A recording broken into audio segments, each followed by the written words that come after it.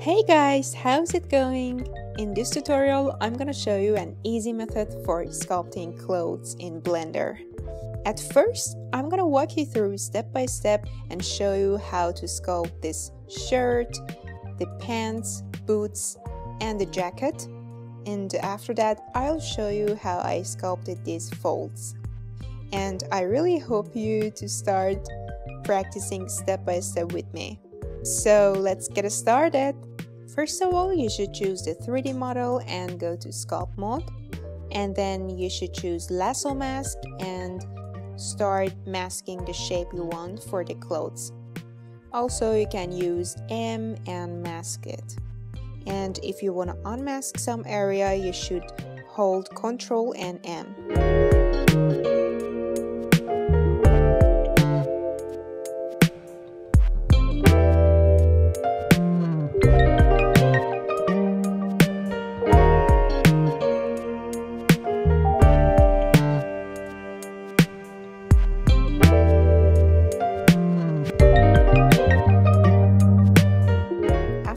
can hold A hotkey on the keyboard and choose Grow Mask or even Sharpen Mask.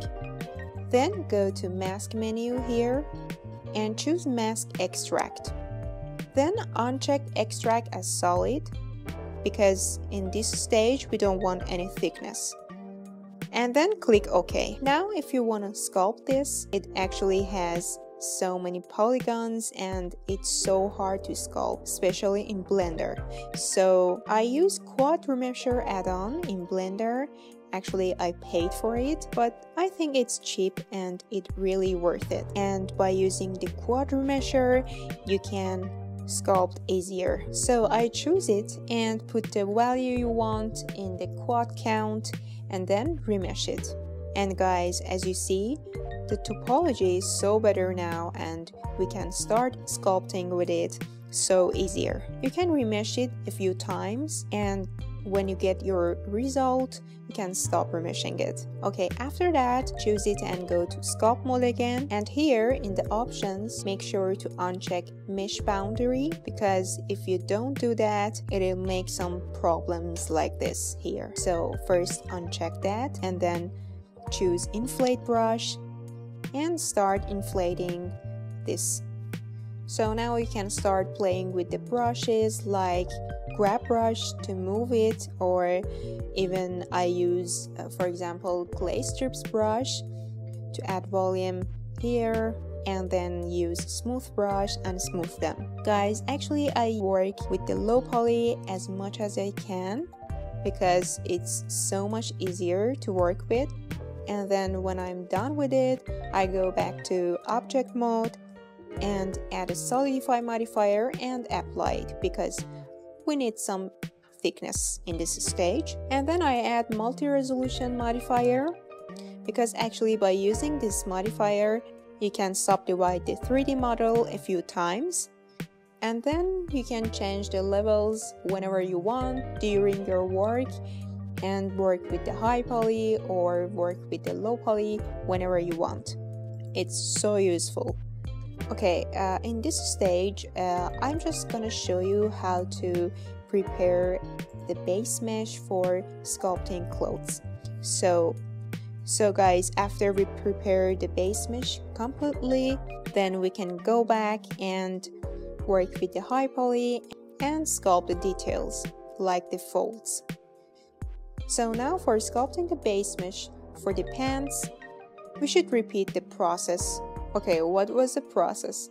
First of all, you should choose your 3D model and choose lasso mask and then start masking the shape you want and then go to mask menu and then click on mask extract then uncheck extract as solid and then click ok then we should go to quad remesher and choose the quad count and change it to whatever you want. You can try it and then click remesh it.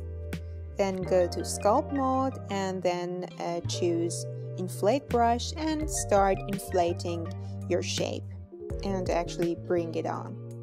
Okay, the point is that whenever you feel that you need more polygons during sculpting, you can choose the base mesh again. For example, choose the pants like this and go to quad remesher and increase the quad count and then remesh it. Because sometimes we really need more polygons and it's okay to do that. Okay, after that I go back to sculpt mode. And actually guys if you are curious about how to sculpt this 3D character in Blender you can check out this video up here Okay, after I'm done with it, uh, I add a solidify modifier and add thickness to it. And then you can add a multi-resolution modifier and subdivide it a few times. And then go back to sculpt mode to sculpt the details. And as I said before, I'm gonna show you a few minutes later in this video. Okay guys, now we should repeat the exact process for the boots and also the jacket so you don't need any more explanation in this stage.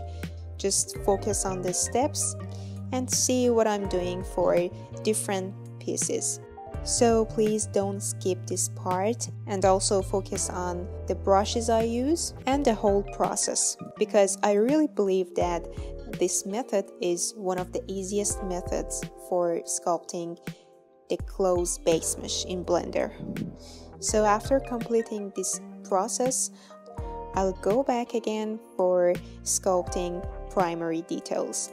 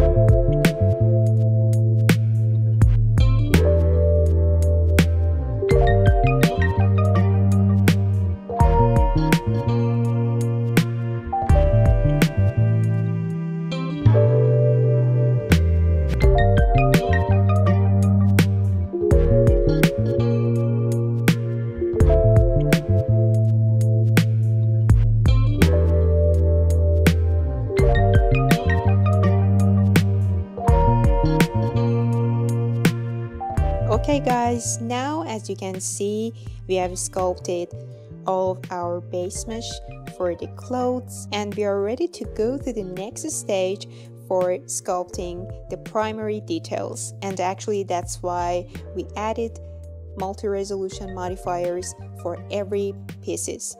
So in this stage we choose every pieces and go to sculpt mode and start adding our favorite details that we want on the clothes and in this step you can use any reference photo. And actually you'd better to use the real photos in the real world.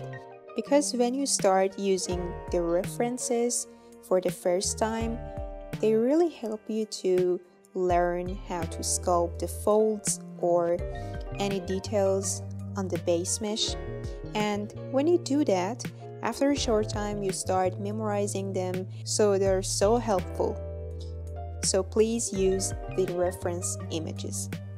Okay, for adding the details and actually sculpting them, I usually use draw brush, draw sharp brush, inflate, and clay strips brush, and scrape brush, elastic brush, grab brush, and crease brush. You can watch the process till the end in this video to understand how I use them one by one for sculpting the extra details on the clothes and also for sculpting the folds. And uh, actually, many of you have been asking me about how I use these brushes and what brushes I use for the most part for sculpting the 3D character. For that, I recorded a video I put it up here, so make sure to watch it after watching this video. It's so useful because I showed you the basics of sculpting in Blender and the brushes I use. So now we'd better to focus on sculpting the details and also don't forget to use smooth brush whenever you want. Guys, there are some other ways to sculpt the clothes in Blender but um, I found this method really easy for sculpting the clothes and and I just wanted to show you how to do that.